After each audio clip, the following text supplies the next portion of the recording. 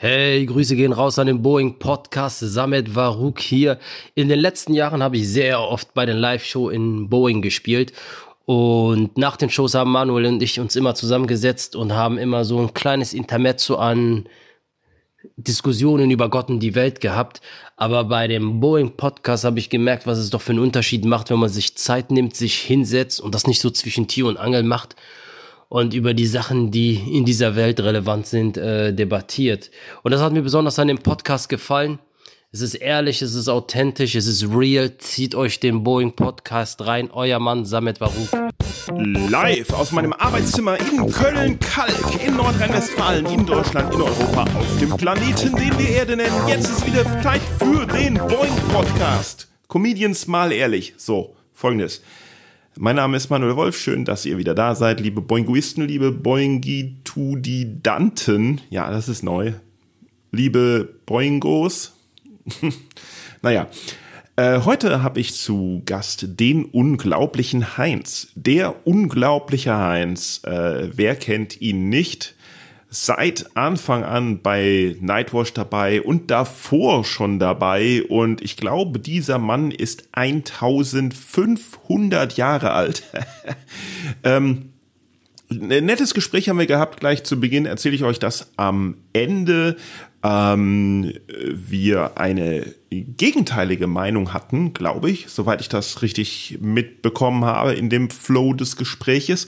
Ähm, es war nämlich so, ne, wie das so ist, wenn zwei alte weiße Männer sich unterhalten, kommt man dann irgendwann auf das Thema äh, Frauen und Gleichberechtigung. Und es gibt nichts cringigeres es besteht keine größere Cringe-Gefahr, als wenn zwei weiße alte Männer sich darüber unterhalten werden, ob Frauen benachteiligt werden oder nicht. Und ich habe den Eindruck gehabt, wenn ich das richtig verstanden habe, hat Heinz gesagt, dass in allen Berufsbereichen Frauen benachteiligt werden bei äh, gleicher Kompetenz, gleicher Qualität.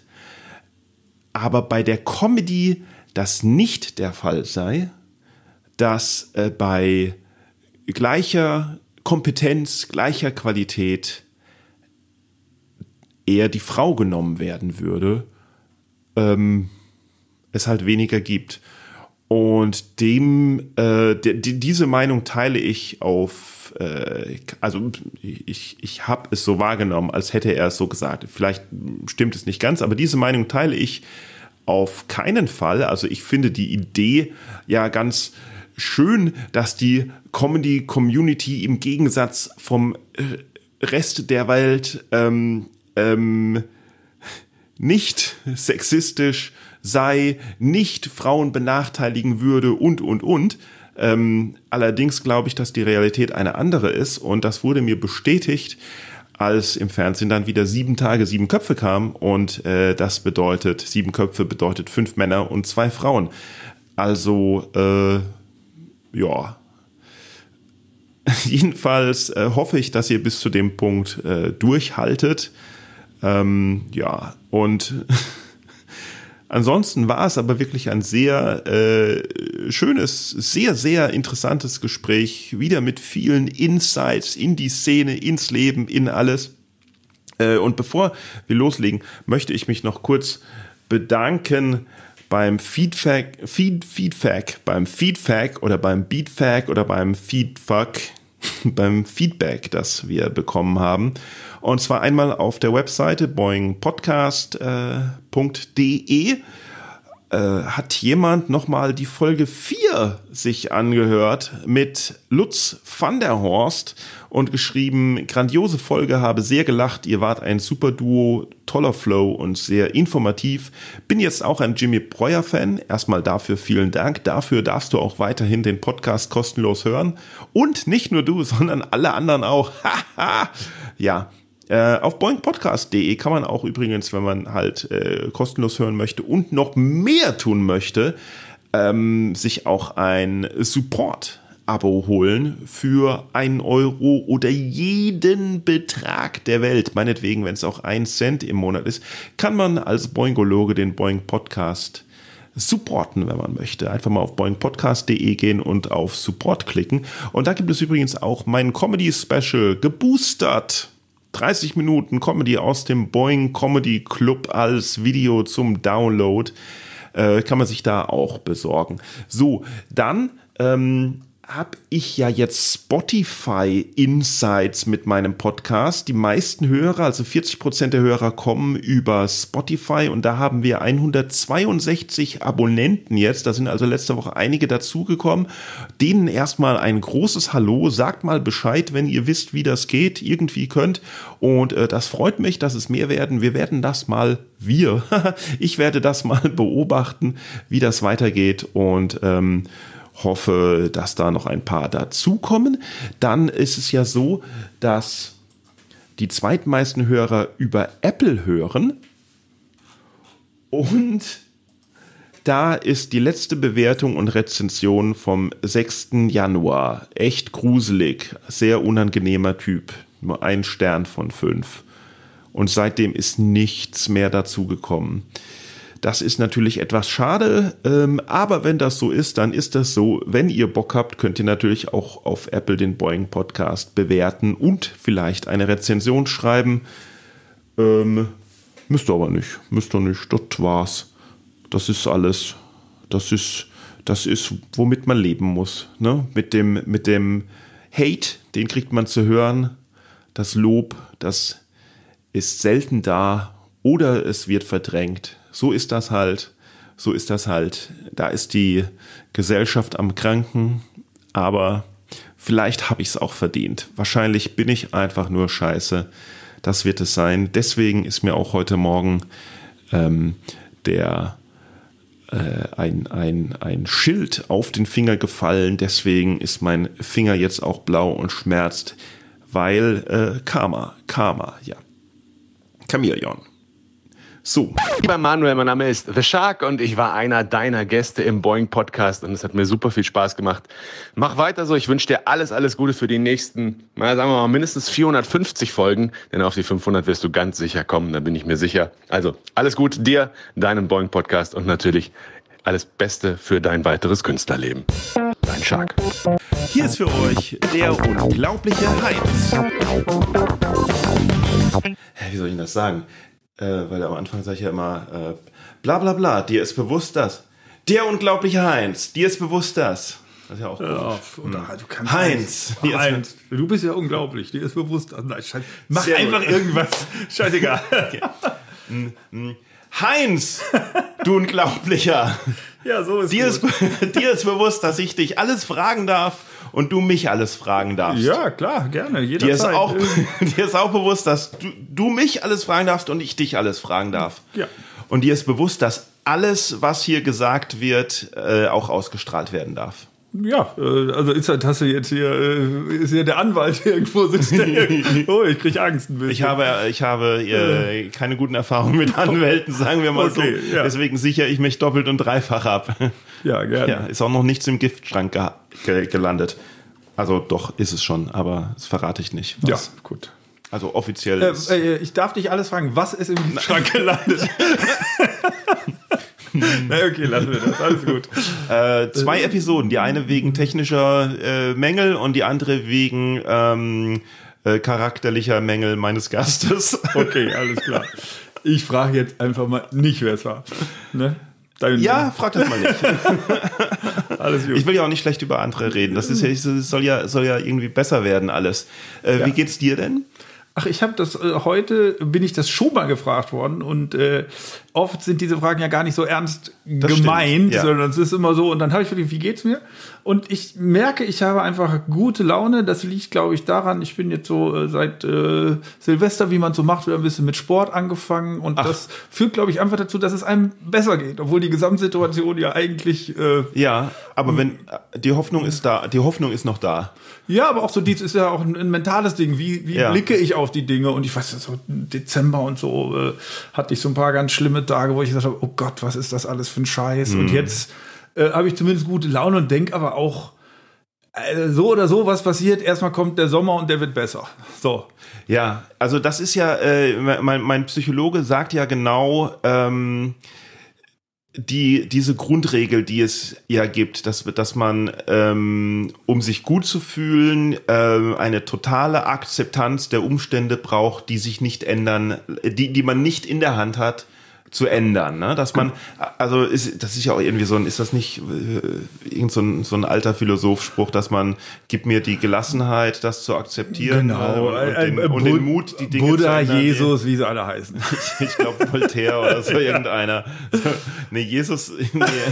Wer weiß, was der Warte mal, hat nicht hat. Buddha einfach gesagt, lass gut sein, mach nix? Ja, wird schon, wird schon wieder. Kein, Wird schon werden. Also, da bin ich kein Spezialist. Äh, Ja, nee, ich auch nicht. Aber doch, ich schon. äh, nee, aber halt, äh, genau, dass man, dass man halt, ne, wenn, wenn ich da immer hingehe und, und über dies und das meckere und sage, das ist scheiße und das ist scheiße und das und das, dann sagt er, ja, also was und äh, da kann ich nichts dran ändern und da können Genau. Sie nichts dran ändern. Genau. Also man muss lernen, damit umzugehen. Ne? Macht so und, eine und innere das, Freude am Leben. Ich fand das so schön. Ich hatte letztens äh, meine Mutter noch besucht, die sitzt im äh, Altenheim Mhm. und die hat auch äh, eine positive Sicht auf die Welt und die äh, muss mal gucken, ob wir, ob wir aufgenommen werden. Nein, ich, ich, ich Also, sehe gerade, dass mein Kaffee. Hol den Kaffee, ich rede so lange. Ich rede so lange.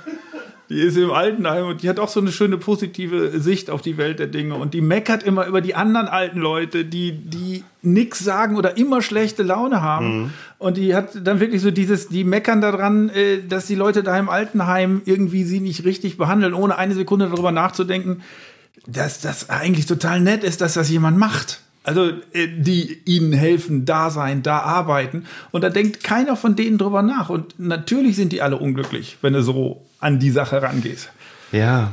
Äh, Freust du dich denn aufs, aufs Altwerden oder äh, hast du da das ist vor? jetzt halt so eine gute Frage. Freuen? Nein, ich, ich habe wirklich so eine Haltung in letzter Zeit, ähm, dass man denkt schon, dass man das Leben feiern soll. Also jetzt hier und im Augenblick, da wo man halt gerade ist, wo man auch so sagt, äh, man kann positiv an die Sachen rangehen, auch im Hinblick darauf, dass das in meinem Alter jetzt nicht besser wird, tendenziell. Ja, so von den Zipperlein und, Ja, ja, äh, genau. und, und vom Bewegungsradius. Ich, mein, ich werde jetzt nicht alt, aber ich, meine Eltern sind jetzt gerade halt so, äh, mein Vater ist schon tot und die Mutter ist 85 Mhm. von meiner Frau. Die haben jetzt gerade, der Vater hat Alzheimer und äh, Ah. ist natürlich auch gebrechlich. Mhm. Und man sieht irgendwie so ab 80 geht's halt einfach bergab. ja, und dann ja. ist so die Frage, was machst du da? Also eigentlich da- geht's ab 30 schon. ja, okay. Ja, ja, ja, aber dann ist äh, der, das Runtergehen ist nicht so noch steil. nicht so steil, ne? ja. Ich habe das Gefühl, bis 80 kann man schon irgendwie, glaube ich, ein cooles Leben haben, noch Reisen machen und so. Aber dann wird's halt oft so, dass Ja, also man kann auch mit, mit man kann auch über 80 noch Reisen machen auf der Queen Mary und so. ja, ja, das stimmt, das stimmt. Oder wenn man äh, viel Geld hat und sich fahren lassen kann und so. Aber Ja, dann wird's ja, halt, genau, Aber ja. man merkt auch bei denen, die haben auch gar keinen Bock mehr. Also man merkt so, dass die Welt wird immer kleiner. Mhm. Also bei, bei ähm, in, in, in dem Fall von, von meiner Mutter und bei, von äh, meiner Frau. Und, äh, und bei denen ist das letztendlich aufs Haus zusammengeschrumpft, den Garten und äh, also darauf würde ich mich nicht freuen. Aber Nee. ich weiß ja nicht, wie es bei mir sein wird. Das sind ja andere Menschen. Ich hoffe, dass ich es anders mache. Ja, also klar, vom, vom gesundheitlichen her, Mhm. aber vom, weißt du, irgendwie, wenn man, wenn man älter, also wenn man, wenn man richtig, richtig Mhm. alt wird, wird man irgendwie von der Gesellschaft äh, nicht mehr so ernst genommen, was einerseits schade ist, andererseits man aber auch zu seinem Vorteil ausnützen kann, indem man sich alles rausnehmen kann, was man, was man sonst so auf, auf, aufgrund von Anstand irgendwie zur Zeit halt vielleicht nicht macht, weil es kann einem niemand übel nehmen, weil es heißt ja auch, der ist ja alt. Genau, das war eigentlich auch immer so meine Fantasie, dass man gerade so, also wenn ich jetzt, jetzt so selbst äh, auf die Comedy immer so ein bisschen, ich fand meine Comedy immer so ein bisschen so bekloppt und so, wenn so ein junger Bekloppter ist, der ist bekloppt, der wird so, aber ich habe gesagt, ein bekloppter alter Opa, wenn ich da irgendwann hinkomme, das wird total geil, weil du hast ja so eine Seriosität, äh, eine Altersweisheit und äh, wenn ich dann hoffentlich immer noch genauso bekloppt bin, äh, mit 30 habe ich mir aber vorgestellt, dann wird das richtig toll. Also willst du auch noch mit 80 dann auf die Bühne gehen? Jein, also das ist so, äh, ich, also ich hatte mal so ein ganz komisches Erlebnis, da war, ich weiß gar nicht, wie alt ich selber war, auf jeden Fall hat der Hans-Dieter Hüsch in der Stadt gespielt, wo ich, also Emmerich, da bin ich geboren worden und der war, an dem Abend war er zu alt. Und da hätte ich mir halt gewünscht, dass, äh, dass Leute ihm das gesagt hätten. Also ich meine, da kann man, äh, die haben ja noch gefeiert. Oder dass sie es dir gesagt hätten. Ja, na, ja, mir, also das fand ich jetzt so, die Leute haben ja auch gefeiert. Ich fand so, für mich, mm. in dem Punkt würde ich mir wünschen, dass mir jemand sagt, hör auf. Lass es lieber sein, weil das war dann, ach. Ja, aber wirst du das dann akzeptieren? Ja, wenn ich Weißt du, so wie bei Monty Python, so, die schon seit 30 Jahren sagen, ah, letzter Auftritt jemals und dann, ah, die Großen, die, okay, diesmal der wirklich letzte Auftritt. Ich weiß es nicht, also das ist Oder ja so. Tina Turner und so. Ach, das geht ja auch dann die dieses um, um, es geht ja schon auch ein bisschen um dieses noch können. Also bei Monty ja. Python stelle ich mir vor, dass die da auch die ganze Zeit noch Witze drüber machen. Und dann finde ich. Für sich selber. Für ja. sich selber, ja. über den Zustand, in dem sie sind. Und dann könnte ich da, glaube ich, mit leben. Aber wenn da jemand ist, der mm. irgendwie so hochanspruchsvolles Kabarett macht mm. und mhm. aber dann die Texte nicht auf die Kette kriegt und mm. auch beim Spielen und in der Performance, äh, dann darf man sowas halt nicht mehr machen. Da muss er halt. Ja, man darf schon. Ja, nö, also für mich nicht. Ich, ja, ich, ich, ich bin dann streng. Ich du, hast dann, dich, du hast dich verarscht gefühlt. ja, verarscht nicht. Ich fand das halt, ich fand das halt so ein bisschen peinlich. Vielleicht war, braucht er das Geld. Glaube ich nicht, glaube ich nicht. also das war in, im pursten Worte eine Cringe. Also, da okay. da gab es das Wort auch noch ja, gar nicht. Aber den Zustand schon. Warst du denn, äh, warst du großer Hans-Dieter Hüsch-Fan? Äh, ja, also der kommt ja vom Niederrhein und da mhm. äh, zu der Zeit war ich äh, noch Fan von gar nichts, aber ich bin sowieso nicht so. Fan von gar nichts? Ja, Fan finde ich immer so. Äh, ich finde ein paar Sachen toll, aber ich habe eigentlich immer so eine also Fan hat ja so ein bisschen, ja, das is ist es und dann hört mhm. das auch nie wieder auf. Und, äh, Ach so, du meinst, du meinst, du, du möchtest jemand gut finden, aber immer die Option ähm, ähm, behalten, dass er dich plötzlich schwer enttäuschen könnte. Ich weiß, weil früher hätte, früher hätte ich gesagt, ich, ich bin Helge Schneider-Fan. Ja. So, fand ich geil, wie ja, der das ja. gemacht hat. Heute, aber ist auch mit so einem Abstand und mit so einer professionellen Sicht geht der halt immer auf Messers Schneide und habe ihn auch schon zweimal gesehen, wie er runtergefallen ist. Ja? Und da habe ich, da denke ich auch so ein bisschen mehr Professionalität in Anführungszeichen. Mhm. Äh, ein bisschen weniger Risiko, damit man nicht auch runterfällt. Aber ist natürlich so. klar, wenn ich hm, improvisiere, ja. gehe ich ja immer ein hohes Risiko. Mhm. Und das kann halt in die Hose gehen, ja. Scheitern. Er hat ja jetzt letztens ja. hieß da mit den komischen Konzerten, kann ich mir auch vorstellen, dass das einfach nicht funktioniert ja. hat, dieses, diese, ja. diese, was waren das da, diese Strandkorb-Konzerte. Strandkorb oder sowas. Und ich habe in dem ähnlichen Zusammenhang bei so einem Festival mal gesehen und das war halt Aha. halt auch unruhig. Und das war dann auch nicht so entertaining. Dann gehen Leute raus, dann wird der ein bisschen mm. sauer. Oh. Aber das war zu Recht. Und ich würde so sagen, hey, es ist ein Festival. Mm. Äh, du kriegst so und so viel Geld und du weißt das dann mhm. spiel doch deine fucking drei Nummern ab.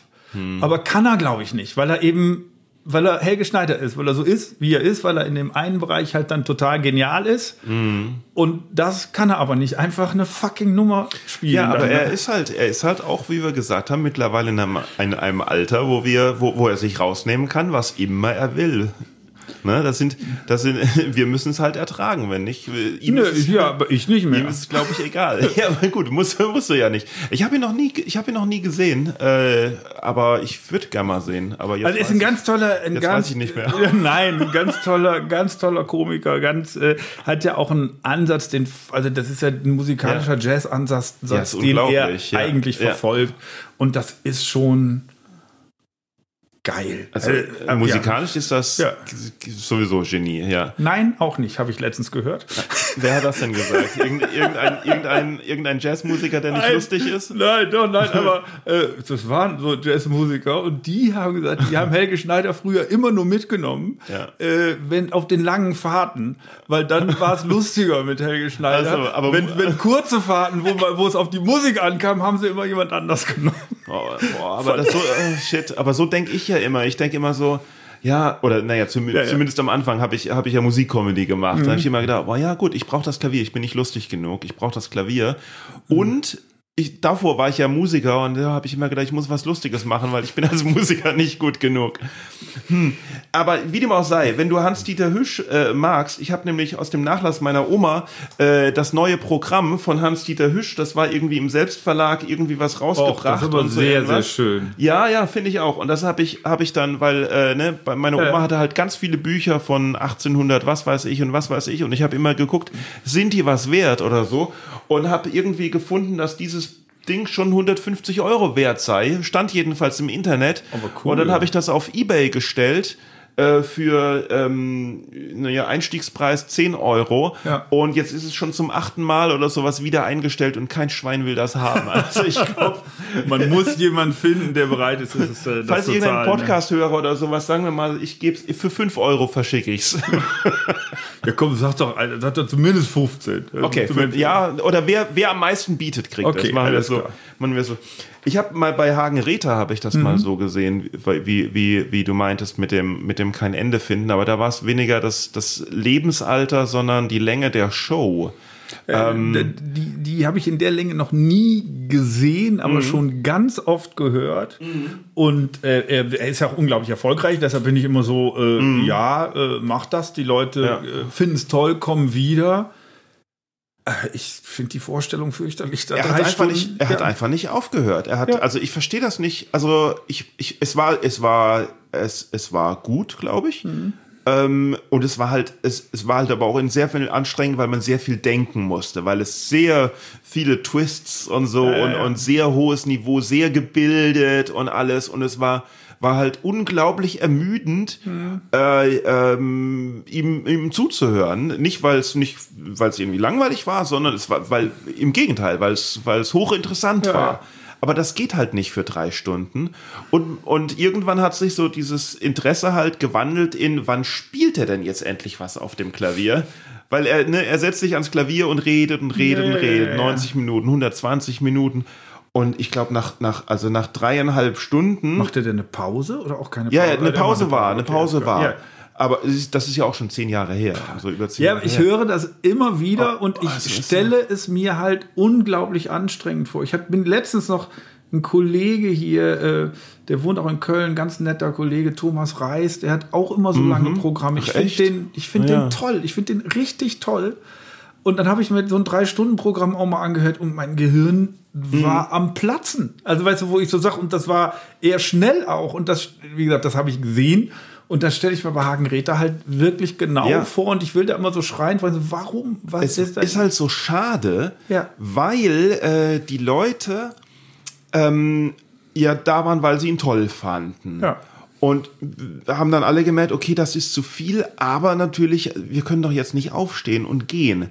Das heißt also, sie sind nicht gegangen, wo sie wollten, sondern sie sind, sie haben halt versucht, es noch länger zu ertragen und irgendwann ging es dann halt nicht mehr. Da gingen wahrscheinlich auch die ersten Bahnen und sowas mhm. und dann sind halt Leute aufgestanden, haben sich natürlich bei, das war ja in der Beethovenhalle, weil immer so, Entschuldigung, Entschuldigung, Entschuldigung, sorry, ja, müssen leider gehen.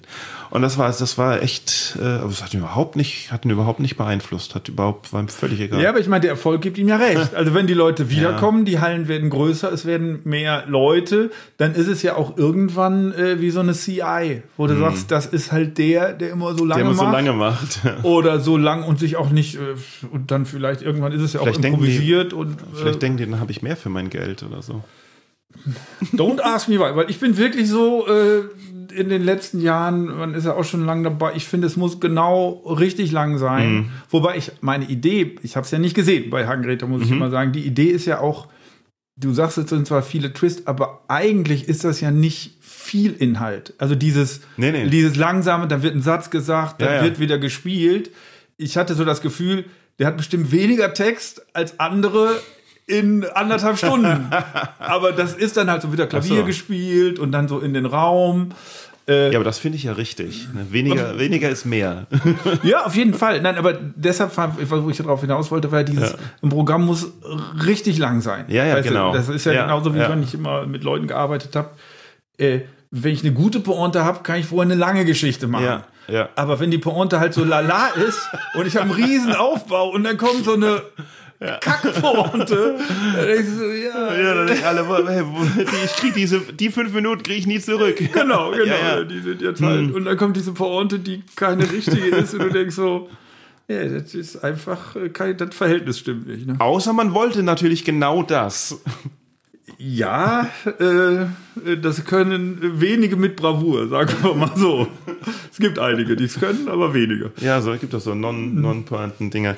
Ja. Naja, also ja, die andere, die andere Meinung ist ja immer Leave them hungry, ne? dass die Shows halt eben lieber halt vielleicht einen Ticken zu kurz sein soll. Finde ich richtig. Ja, ja, klar. Mhm. Das ist, aber das ist ja sowas, wo du sagst, äh, es gibt halt zweierlei Regeln, glaube ich. Es gibt halt Regeln für dieses äh, auf dem Weg äh, nach oben, mhm. in Anführungszeichen. Was ist, dass die Leute das weiter erzählen?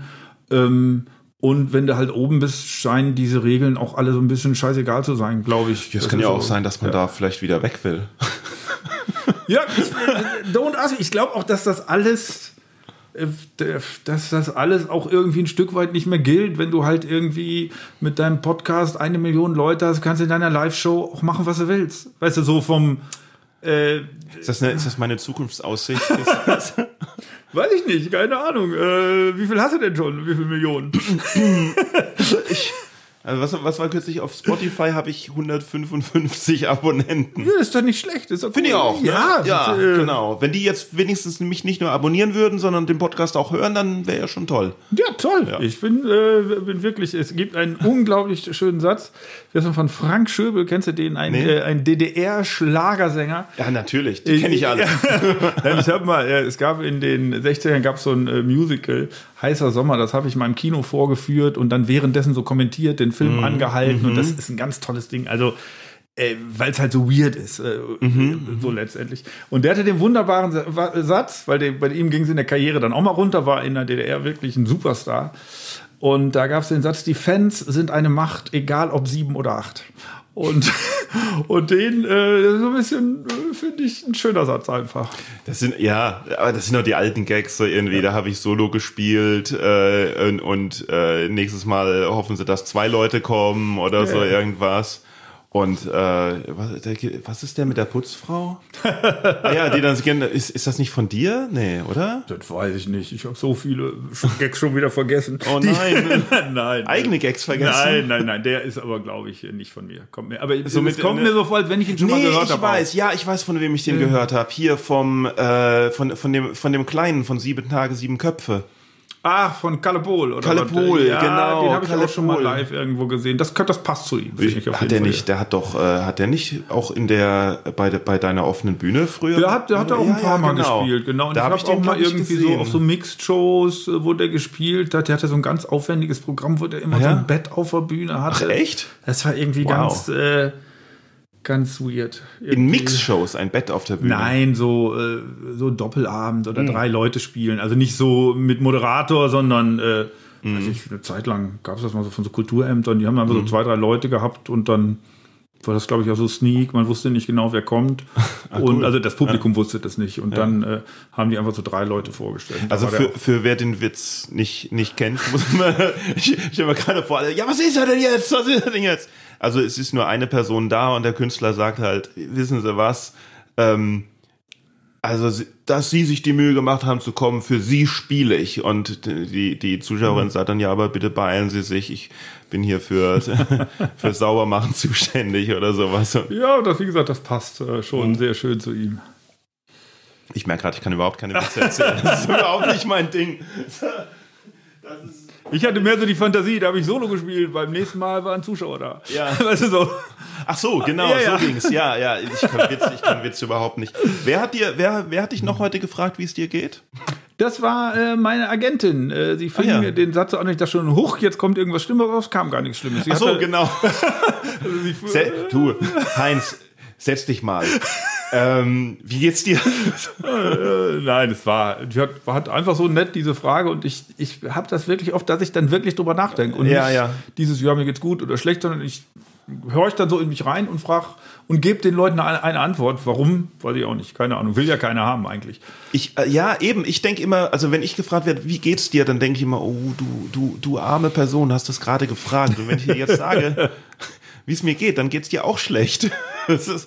aber wenn es mir dann schlecht geht, sage ich es eigentlich auch. Aber, äh, ja. äh, aber ich finde das so als kleiner Spiegel eben.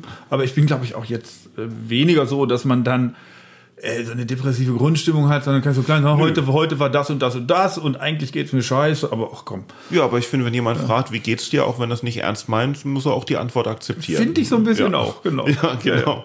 Ähm, wo wir gerade vor der offenen Bühne gesprochen haben, das war, glaube ich, das erste Mal auch, wo ich dich gesehen habe. Das kann gut sein, ja. äh, zumindest live, die hast du ja ins Leben gerufen, ne? Eigentlich haben wir die damals erfunden. Das war so ein bisschen so eine. Wann, wann war das? Oh Gott, das war ja, äh, das ist eine gute Frage. Das war ja in den Neu also äh, 90. 1990? 1990 wow. würde ich sagen. Ich würde sagen, dieses Duo habe ich letztes Mal geguckt oder äh, aber das ist immer so weit mit Zahlen bin ich eher so 95, 94, 95. ja, ich bin einfach nicht gut in sowas. Also das auch ist, wo, äh, wo so ein Nightwash anfing und so. Ne? Also wir waren ein bisschen, wir waren vor Nightwash, so, ja. so zwei, drei Jahre und, und dann gab es ja die offene Bühne im Wohnzimmertheater, da war die halt schon relativ etabliert. Ja. Und dann gab es aber noch mal einen Vorlauf von zwei Jahren. Ah, wo war da das? sind wir in der Südstadt im Spielplatz angefangen mit so einer Mittagsshow cool. am, am Ach, Sonntag wow. zum Kaffee quasi. Ach, das geil. war sehr, sehr schön. Ja. Und das lief, glaube ich, zwei Saisonen. Mhm. Dann sind wir in die Künstleretage gewechselt. Mhm in die Christophstraße, also auch relativ zentral und haben da quasi mhm. selber ein Theater gemacht. Das war so ein Tanzschuppen und da haben wir dann am Wochenende immer Ach. das Theater aufgebaut, beziehungsweise wir. Ja, verstehe. Ich habe das aufgebaut, Teppich ausgerollt, Stühle aufgestellt, eine Bühne aufgebaut, ja. Vorhänge hingemacht und so. Und da haben wir ein Jahr gespielt und dann kam der Georg vom Wohnzimmertheater ja, und ja. hatte so irgendwann gesagt, ah, das ist schon nicht äh, ist ja eben kein Theater und das mm. mindert natürlich auch so ein bisschen mal die Performance oder den Wert der Performance mm. auf mm. Leute. Und da hat er gesagt, das ist ja eigentlich blöd, die sind so gute Leute so oft. Ja. Dann, äh, dann kommt doch lieber bei mir ins Theater und, äh, und da waren wir dann jeden Sonntag. lange. Ja. Genau. Ja, also ich bin ja erst 2003 nach Köln gekommen. Und das war so eins der ersten Sachen, die ich gesehen habe. Ich habe da selber noch überhaupt keine Comedy gemacht. Ne? Ach so, ich, da warst nö, du noch gar nicht. Äh, was Nein. warst du denn da noch? Genau. Äh, da war ich fertig mit dem Studium in ja. Hamburg und wollte äh, beim Fernsehen arbeiten in Berlin und äh, bin in Köln gelandet. oh, ja, schön, ich wollte in Berlin arbeiten, dann war ich in Köln. Ja, ich, Köln, ich, ich dachte, Köln, ich, Köln wollte ich nie. Köln war für mich eine schreckliche Stadt. Ich, hab, ich, hab, ich war da einmal, also ich habe in Hamburg Musikwissenschaften mhm. studiert und da gab es ja noch die Popcom und sowas und da ja. sind wir mal für runtergefahren, weil wir da so halt Tickets gekriegt haben vom Studium.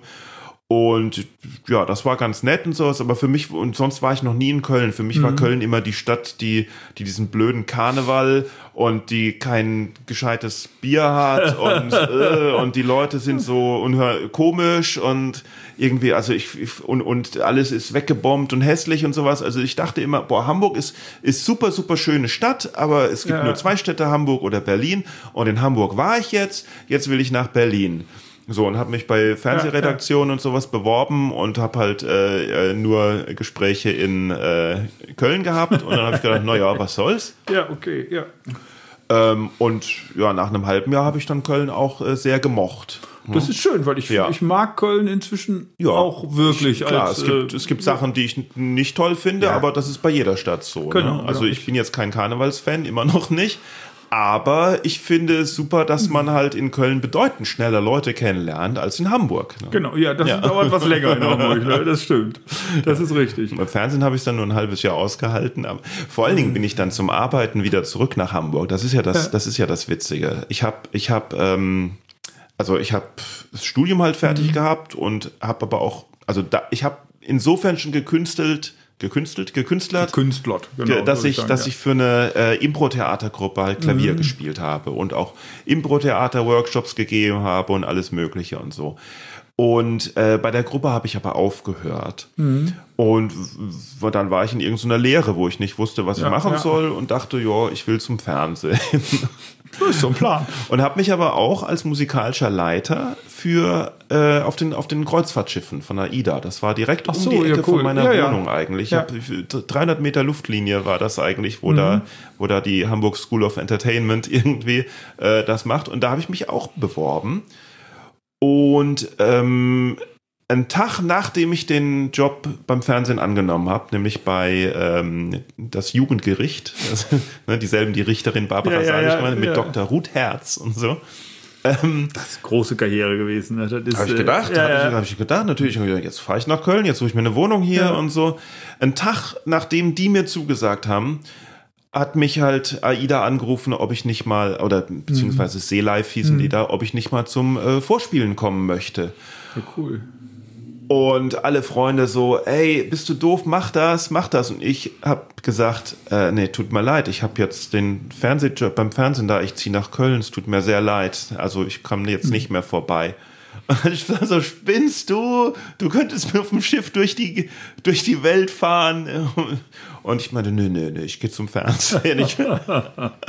so, und was die dann aber netterweise noch gesagt haben im Telefonat ist, ja, also wenn das mit dem Fernsehen nicht hinhaut oder sowas, kein Problem. Wir suchen immer Leute, melde dich einfach ja, wieder. Ja. Und ich denke so, ja, okay, klar. Und im Kopf denke ich natürlich, die hören nie wieder von mir. Ein halbes Jahr später rufe ich natürlich an und denke so, hey, habt ihr noch Interesse? Ja, ist so cool. Und du warst dann auch da äh, klar, unterwegs gesagt, mit denen. Ja, ja, genau, die haben gesagt, ja klar, komm ja, vorbei. Und ich bin, habe in Köln gewohnt, bin mhm. einfach nach Hamburg zurück, da wo ich gewohnt habe, habe davor gespielt, habe gedacht, okay, jetzt werden die sich aber nie mehr bei mir melden, weil ich habe das so scheiße gespielt. Ja. Hier, spiel doch mal ein bisschen Barpiano. Und dann habe ich Girl from Ipanema gespielt. und dann liest doch mal da die Noten. Und oh, ich habe mich echt blöd angestellt. Ja. Und die haben aber dann am nächsten Tag schon angerufen und haben gesagt, ja, also ne, es ist zwar noch keine definitive Zusage, aber äh, ich kann jetzt schon sagen, das fanden wir gar nicht schlecht. Das ist doch cool. Ja, und seitdem bin ich dann fünf Jahre da aber ich habe immer noch gedacht, ich habe jedes Mal gedacht, boah, ich kann überhaupt nichts. Ich, ich, bin, ich bin total schlecht als Musiker. Ich habe da nie, also die, die Show-Ensembles, die, die ja auch mit verschiedenen musikalischen Leitern rumfahren, mhm. haben, haben auch gesagt, boah, mit dir macht am meisten Spaß. Auch die Liederabende und sowas ist toll, alles geil und so ich habe das nie, ich habe das nie akzeptiert. Ich habe immer, wenn ich dann, wenn ich dann andere musikalische Leiter gesehen habe, ich immer gedacht, ja, aber die können wirklich Klavier spielen. Ja, bei mir ist das ja auch, ne, bei mir ist das ja so ähnlich. Ich bin ja auch ja. kein gelernter Musiker mhm. oder so. Ich habe immer meinen Gitarrenscheiß-Kram da gespielt. Und ich glaube, man muss dann einfach sehen, das, was man natürlich, würde ich ja sagen, ich bin kein Musiker, ja. aber im im Entertainment dann auf der Bühne im ja, Vermitteln ja. zehnmal besser als viele andere, die Klar, ja. ein Instrumental was können, wo du denkst, äh, es ist ja die Hölle, man schämt sich in, äh, in, äh, in Grund und Boden, sich überhaupt als Musiker zu bezeichnen. Ich sage immer so Klampfer und was weiß ich. Aber das ist natürlich auch eine Qualität. Die, das ist der Jongleur-Effekt bei, bei, den, bei den virtuosen Leuten oder was meint ihr jetzt? Bei ja, ja, klar. Sie, ja, müssen, ja. Sie, müssen, Sie müssen, was weiß ich, in Ihrem Kämmerchen da sitzen und üben, üben, üben, üben, aber für was? Ne? Genau, genau. Und dann ja. sind es halt fünf Minuten und äh, also beim Jongleur meine ich. Ja, das, und, genau. das, und, dann denkst du, dein ganzes Leben für eine fünf Minuten Nummer. Ja, inter, interessanter wird es nicht. Okay, er genau. wirft die Bälle hoch und er fängt sie wieder. Okay. Ja, und dann jetzt vier und jetzt fünf und dann sieben und dann vorbei. also warum, wenn, nicht mit, warum nicht mit sechs? I don't get it. wenn es ein Weltklasse-Jongleur ja, ist. Ja, ne? Ja. Also, ähm, ja, mh, mm, so ist das mit dem, mit dem, äh, mit, mit der, mit der Eigen, ähm, Eigenwahrnehmung. Ja, aber ich finde, man muss das aber auch annehmen, wenn die sagen, ja, ja. mit dir macht Spaß, ja, das, das ist ja auch eine Qualität einfach. Ja, ja, genau, ja. ja. Hm, ja, es ist aber jedes Mal so, wenn zum Beispiel, also ich habe ja zwei Musik-Comedy-Programme äh, gehabt und wenn dann halt mhm. andere Comedy-Kollegen, die nur Stand-up machen, nur, jetzt, mhm. siehst du, jetzt mache ich ja, selber, ja, ne? Ja. die Stand-up machen, äh, ankommen und äh, sagen, boah, mach doch was am Klavier, du spielst so geil Klavier, also das ist ja wahnsinnig virtuos, wie du so schnell, also unglaublich, du bist ein richtig guter Musiker, dann kann ich das nicht annehmen, weil ich immer denke, das sagt ihr nur, weil ihr selber keine Musiker seid. Ihr habt doch keine Ahnung. Was wisst ihr denn? Warum gebt ihr mir so ein blödes Kompliment? Sie finden es halt gut. Also ich habe ich hab jetzt eher so im Laufe der Jahre die Haltung äh, entwickelt, so, ja, ich werde werde dir nicht sagen, dass das nicht stimmt. Ich behalte das für mich. genau. Das, ja, wahrscheinlich, vielleicht haben ja die, die äh, richtigen Musiker andere, einfach andere Tricks auf Lager. Vielleicht wissen wir die ja einfach Nein, nicht. ich, ich glaube nee, einfach, dass es vollkommen, ich glaube einfach, dass das vollkommen egal ist. Dass das, ne, dass das einfach, was, was sind denn Leistungen? Das entsteht ja, ja wirklich immer im Auge das von dem, äh, der, der dazu guckt. Ja. Und und es ist scheißegal. Warum soll ich jemand, der das denkt, dem das Nehmen. verderben? Ich weiß nee, es ja selber. Auf keinen Fall nicht. Vor allen Dingen ja, ist es ja. ja eine unglaubliche Arroganz, das zu tun. Ja, ja, klar. Also wenn man ein Kompliment kriegt, dann muss man das annehmen. Genau. Auf, egal was es so. ist, ja, weil, weil ähm, es ist schon mal es ist total schwer, Komplimente zu geben. Und wenn man Komplimente gibt, dann sind die, ist es eine super Ehrlichkeit, äh, äh, die man der Person, die man es gibt, äh, ähm, gegenüber öffnet. Genau. Und wenn man dann mit so einem Blog kommt, allein so, ach, das war doch gar nichts. Also, das war, also ich fand es heute nicht so. Das war, Nein, boah, ich, wie gesagt, aber ich musste das auch lernen, das anzunehmen. Und ich ja. habe auch gelernt, mich da wirklich drüber zu freuen, weil das eben mhm ähm, eher so, äh, man macht das ja jetzt schon ziemlich lange und es gab halt viele Abende, die einfach gerockt haben wie Sau, wo du irgendwie denkst, ja. dann hast du viele Leute und es ist so, ja, man gewöhnt sich da auch dran, so, dass das eben einfach rockt, dass es geil ist.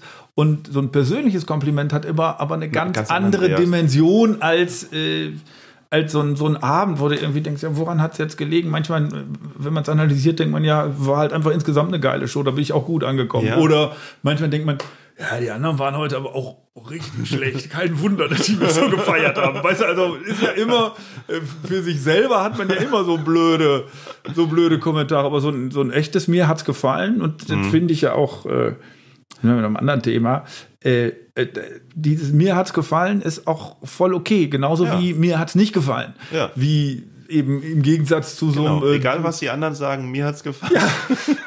In der Form würde ich auch noch mal drüber nachdenken. Aber das ist ja auch so oft, wenn, wenn Leute irgendwas kritisieren, da fehlt ja dieses Persönliche, dass ja. sie sagen, die sagen ja dann auch oft, wenn ihnen was nicht oh, gefallen oh, das hat. Mag, ja, ja, ja. Und das ist ja, finde ich, auch ganz schrecklich, diese, weil ich sage, ja, dann äh, ein mir hat das nicht gefallen, kann ich immer ist annehmen. Völlig da okay, aber das ist nicht lustig. Schwierig, Boah. schwierig, ja. schwierig. Ja. ja. ja. Stimmt, da hast du recht. Aber, aber gerade beim Persönlichen finde ich es äh, ähm, cool bei Shows, wo man, wo man nicht mit so einem guten Gefühl rausgeht. Also es gibt ja manchmal so die Abende, wo man denkt, hm, heute war das Publikum aber irgendwie so ein bisschen mau. Ja, Oder was ja. ist, wo, woran lag's? Ich krieg's nicht richtig. Irgendwie, irgendwie war da nicht. Und dann, komischerweise, sind das oft die Abende, wo sich mehr Leute beim Newsletter anmelden genau, oder wo mehr ja, Leute beim Ausgang sagen, oh, das war aber schön oder so was. Und dann denke ich so, dann denkt man natürlich auch so, okay, hä? Warum hast du das jetzt nicht gezeigt oder so irgendwas? Aber nee. Ja, du kannst, oder man könnte ja fragen, warum habe ich es nicht gemerkt? Oder warum habe ich es nicht gemerkt? Äh, genau, was, das ist das, das dann ja, richtiger, genau. Ja, vor allen Dingen, weil, weil ähm, äh, Wahrnehmung eh so eine Sache ist, die ja für jeden ständig anders ist. So. Ja, ja. Ne? Das, das kann ist, für den äh, einen kann das Abend, der, der, der, der Tag der beste Tag des Lebens gewesen sein und du sagst so, ja, heute war nicht so. Ja, ja. Finde ich spannend, weil das ist, äh, ich tritt ja nächste Woche bei dir auf, im, oder Stimmt. immer das ja. gesendet Also nein, du bist gerade bei, du, hey, gerade aufgetreten. War super, es war ein unglaublicher. und das ist genau mein Thema. Also ich finde es halt auch so spannend, weil es ja ein Open mm. Mic ist, eben sowas mal auszuprobieren, mm. sozusagen, äh, und so ein bisschen von einem wissenschaftlichen Aspekt äh, da dran zu gehen, Oha, ja. wie das halt funktioniert mit Wahrnehmung und so weiter und so fort, mhm. Selbstwahrnehmung, wovon das abhängig ist. Finde ich jetzt lustig, dass wir da äh, auch gerade hinkommen. Weil Warum machst du jetzt mal, wieso ist, ist dein Auftritt Mentalmagie oder? nein, nein, das, ich hatte so einen Artikel gelesen und ich fand, ah, ja, fand genau. das einfach super spannend. Ja. Da waren super spannende äh, äh Untersuchungen, die er gemacht hat, wo ich gesagt habe, äh, das ist einfach mal einfach so ein Ding, wo ich sage, beim Open Mic kann ich ja mal gucken, das genau dieses Ding. Das wird jetzt nicht eine Hammerpointe nach der anderen haben, ja. aber wenn man das im Programm spielt, hätte ich schon das Gefühl, dass der ein oder andere nach Hause geht und sagt, das wusste ich noch nicht. Oder mhm. das hat jetzt wirklich meinen meinen Horizont erweitert. Das habe ich halt gedacht, als ich den Artikel gelesen habe. Ja, genau. Und warum, und, nicht, warum und, nicht teilen? Genau. genau, und warum ja. das nicht teilen und eben auch, äh, ich meine, dafür ist man ja lange genug dabei, da mhm. noch ein paar Pointen reingebaut kriegen. Es ist halt nur immer ein schwieriger Schritt, damit dann auf die Bühne zu gehen, wo man halt, weiß, das ist jetzt kein Porno. Immer noch? Immer noch. Ich finde ich finde das immer noch. Das ist, äh, ich trainiere das seit Jahren, ja. wirklich auf die Bühne zu gehen, um und absichtlich nicht lustig sein zu wollen, weil ich das eben, äh, finde ich sowieso viel besser, wenn man, ja. wenn das einen Inhalt hat, ja, was man macht und nicht, ich erzähle jetzt hier Pointen und ich bin witzig, hahaha. Naja gut, das eine schließt das andere nicht aus. Äh, aber für mich hat die Comedy eine höhere Qualität, wenn es diese, wenn es diese zweite Ebene immer mhm, gibt mhm. und ganz viele Kollegen oder jetzt nicht kein Bashing, sondern einfach, wenn man das lange spielt, wenn man lange immer die gleiche Nummer spielt, ja, ja. merkt man, wie diese Haltung verloren geht, der mhm. Inhalt dahinter und da weiß man genau, bei dem und dem Timing wird gelacht und ich finde das eigentlich das ist halt 10% weniger Qualität. Mhm. Es macht einem selber dann auch weniger Spaß. Ja, man sieht ja, viele Leute sind dann auch irgendwann abgespielt. Die merken so ja, richtig, ja. die haben den Inhalt zur Nummer, zu der Witzigkeit, zu dieser Idee, die da irgendwann mal hintergestellt hat. Wenn es irgendwann 300 Mal gespielt hast, dann ist halt, sind das nur noch Worte und Timing. Ja, aber, also das ist, das denke ich auch bei, bei alten Nummern von mir. Da habe ich halt auch keine Lust mehr, die zu spielen, weil ich denke so, okay, die habe ich jetzt oft genug gespielt, aber die neuen Nummern sind halt nicht so lustig wie die alten Nummern. Nein, aber man kann ja auch auf der Suche gehen nach dem Inhalt dahinter. Ja, Dieser, da, da gab es ja, die waren ja irgendwann mal, hat genau. man die ja und hatte diesen, diesen Bezug und deshalb finde ich eben dieses äh, Probieren für mich immer ja. hoch rausgehen und nicht lustig sein zu wollen, sondern Ja. lustig zu sein. So, Ja, das ja. ist ja, äh, Ja. Und das ist äh, nach wie vor immer noch sehr, sehr schwierig, Das ist finde halt ich. eine Ich Lebensaufgabe. Ja. ja. Also ich glaube, ich bin schon ein bisschen weitergekommen, weil man weil ich auch jetzt in, nein, weil ich auch in anderen Zusammenhängen dann Das eben ja äh, fast 30 Jahre. Was? ja, ja. Aber auch dann äh, Sachen gemacht habe, wo man dann mal eben nur Musiker war oder wo man Mhm. äh, auch ja, zu verschiedene Workshops habe ich letztens mal gegeben, wo es ja auch dann Ja. um Wissensvermittlung geht, wo ich Ach, dann ja krass. auch nicht der Spaßbold da vorne Ja, ja, bin, ja. aber ich habe immer diesen Gag-Zwang, wo ich mich innerlich Okay. dann immer so prügel. Du musst doch jetzt gar nicht Ja. Gags, aber du hast ja einen Inhalt. Du willst ja hier was äh, Aber den Leuten wie bist du beibringen. zu diesen Workshops gekommen? Ach, das war irgendwann, ach, die Workshops waren, ich hatte irgendwann mal äh, Kunst in der Schule gemacht, weil ich hatte ja ein ziemlich, äh, ach, so ein literarisches Programm mit Sachen von äh, Goethe, Schiller und, äh, und Kleist. Und dann haben wir irgendwann, weil es mir auch ein bisschen so ein Anliegen war, zu sagen, äh, dass Sprache eben auch Spaß machen kann oder auch Unterricht oder auch Klassiker können Spaß machen. Das ist mir in der Schule vollkommen abhanden gekommen, dieser Spaß daran. Das ist, und jetzt bei meinen Kindern ist es wieder so, wenn ich das sehe. ja. Es, die, meine Tochter liest gerade Kabale und Liebe und es ist Oha. so, es ist die Hölle. Also ich Ja, meine, weil es halt einfach so weit weg ist und man Absolut. müsste, glaube ich, man könnte, glaube ich, ganz viel spielerische Ele Elemente finden, um das Ja. näher zu bringen, das zu vermitteln. Von dem, was sie mir erzählt, passiert da nichts. Nix. Und dann habe ich gedacht, ach, das wäre doch toll, wenn man das quasi in der Schule wie so ein Workshop oder so irgendwie machen könnte. Ja. Und dann haben wir das angeboten. Und äh, ach, das ist, da rennt man in der Schule so ein bisschen wie gegen eine Wand. Also wenn du irgendeinen Lehrer hast, der Bock hat, das zu machen, dann machst du das. Und dann finden das auch alle toll. Aber um das anzubieten, ist irgendwie schwierig. Und dann habe ich halt gesagt, dann gab es so einen Workshop, Kunst in der Schule, das wurde vom Land NRW äh, angeboten. Und dann habe ich mich da mal qualifiziert äh, und habe das irgendwie gemacht. Und es war halt auch immer nur ein Spleen, weil eigentlich bin ich fully booked. So. Ich, hab, ich hatte so die Fantasie, auch wenn du doch jetzt äh, in Stuttgart bist, kannst du da auch am nächsten Morgen noch mal in die Schule gehen. Weil das ist vollkommen abwegig, dass Wir haben da irgendwie so eine pädagogische Zusatzausbildung gemacht? ja, oder ja, das war, das war so ein Workshop über, Ah, ja. über drei Wochenenden Ach, oder irgendwie. Ja. Das wurde auch finanziert vom Ja, Land ja, und so. Das, das war total nett. Da waren so viele, äh, habe ich auch viel gelernt, fand ich auch spannend, so eben den Blickwinkel von der anderen Seite zu haben. Das war, äh, das war richtig cool. Aber wie gesagt, letztendlich hat das nie was gegeben, weil es ist halt, also wir sind in Deutschland. Weißt du, Mhm. Irgendwo hinzugehen und sagen, ich bin da, habt ihr nicht Bock dazu machen? Das ist, Nee. da ist ein Organisationsapparat. Man könnte einfach sagen, wir machen das, können die aber nicht. Nee. Weißt du so, wo, und ich habe gesagt, ey, ich will auch nicht viel Geld haben, weißt du, so im Sinne von, ist doch scheißegal, gib mir zwei, drei, ich bin sowieso da und mir ist das ein Anliegen, eine Herzensangelegenheit. Egal, scheiß. Und dann äh, habe ich aber in, über verschiedene andere Zusammenhänge, das wird das jetzt, glaube ich, sprengen, äh, in äh, Luxemburg ein paar Leute kennengelernt, hatte da auch ein Wohnzimmerkonzert gemacht, das waren auch irgendwie so Leute von den Medien und der beste Freund wieder von dem, äh, Also der gut, ja. ist in Luxemburg im Ministerium, ja. äh, im Kulturministerium. Ach, guck. Und der hat einfach gesagt, machen wir. Ja, ist nicht. Ja, der, und, jetzt, und dann war ich äh, zweimal in Luxemburg, ich habe da Workshops. Mhm. äh, für Lehrer gegeben. Die haben so eine kleine Tour auch gemacht in den Schulen mit drei, vier Auftritten. Mehrere Schulen in Luxemburg? Es gibt mehrere, viel mehr, als wie man denkt. Ich habe da auch viel über Luxemburg gelernt. Das ist äh, zwar Also- sehr, sehr klein, aber doch äh, äh, Groß. viele Schulen. ja, also, Ich verstehe das auch nicht. Also, so wenn ich auch an eine eigene Schulzeit zurückdenke, es gibt kaum was Langweiligeres als Geschichtsunterricht und es gibt kaum was Spannenderes als Geschichtsdokus im Fernsehen. natürlich. Ich verstehe das nicht. Ne? So Netflix, Netflix Geschichtsdokus. Na, Netflix, vielleicht, also. Nein, aber es äh, gibt, ich, ich Geschichte war, ZDF äh, hier, ja, ZDF Neo. Gesch- Geschichte war immer mein Lieblingsfach. Ja. Und, Ach so, äh, nee, ich hab die nein, aber, aber nicht, gehabt. nicht wegen dem tollen Geschichtsunterricht, sondern Genau. weil es mich einfach selber so diese Vorstellung da Ja. vor 100.000 Jahren an der Ja, Pyramide absolut. Und, äh, oh Gott, was bin ich? Ist das dein Handy? Ja, ist das dein ich- Telefon?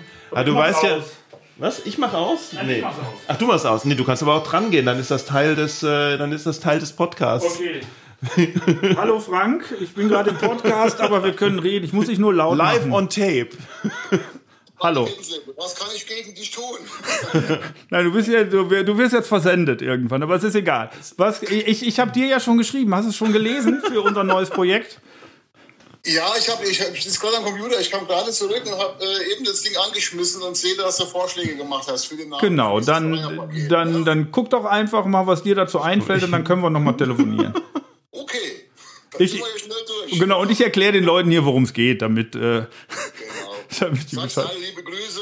Ja, sag, ne, sag, du bist jetzt on. Sag mal, man kann dich hören. Ist das ein Frank? Ja, hallo ihr Lieben. Bleibt alle gesund, passt auf euch auf und bleibt immer schön negativ, indem ihr positiv denkt. Genau, und jetzt, du bist ja Bauchredner, mach noch mal was als Bauchredner. das ist das Beste im Podcast. Ja blöd, sieht man ja nicht. Richtig reagiert. Vielen Dank. Wir telefonieren noch mal in Ruhe, ne? Was? Dann äh, wünsche ich einen schönen Abend. Alles klar, ich melde mich bei dir nochmal in Ruhe, ne? Jo, tschüss. Genau. Ciao. Was für ein Dialekt war das denn? Fränkisch? Der kommt aus Ida Oberstein. Was ist das? Ach, Ida Oberstein, das ist Hinterpfalz, oder? Ja, ja, so Pfalz. Da komme ich doch her. Da, du bist das nicht gehört. Du kommst auch aus Ida Oberstein? Nein, äh, Odenbach. Das Odenbach, ist klein, in, der. in der Nähe von Meisenheim, was in ja. der Nähe von äh, Bad Kreuznach ist. Ach, da oben. Ja, okay. Ja, ja. ja. Das ist die Ecke, ne? Das hättest du hören. Oh, Oder Mann. vielleicht ist der da auch nicht geboren, das weiß ich nicht. Also der wohnt ah. da jetzt.